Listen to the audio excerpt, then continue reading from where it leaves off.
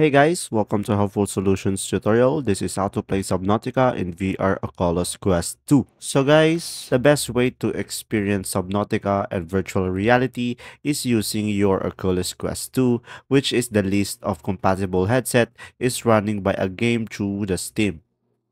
So all you have to do is open the Steam and go to Subnautica page. And in here guys, after you acquire the game, you will notice on the bottom there will have a list of having a VR support. So guys, as you can see, the game is full VR supported.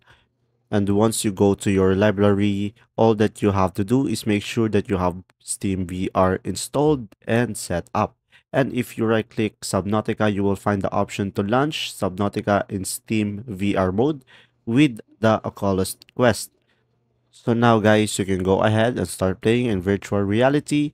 The process is very simple and Steam is going to automatically set everything up. So guys, if you encounter any problems while trying to do this, make sure that Steam VR is properly installed and your headset is up to date. And once you run the application with the latest version of the software, everything should work flawlessly. And guys, you will have an option to install some optional mods. For example, we have VR enhancement that you can find on Nexus Mods, but that is optional. They are simply enhancement that will make the experience a little better. But if you but if all you want is to do is plug and play, just make sure that you run the game through Steam with the headset connected and start the game in VR.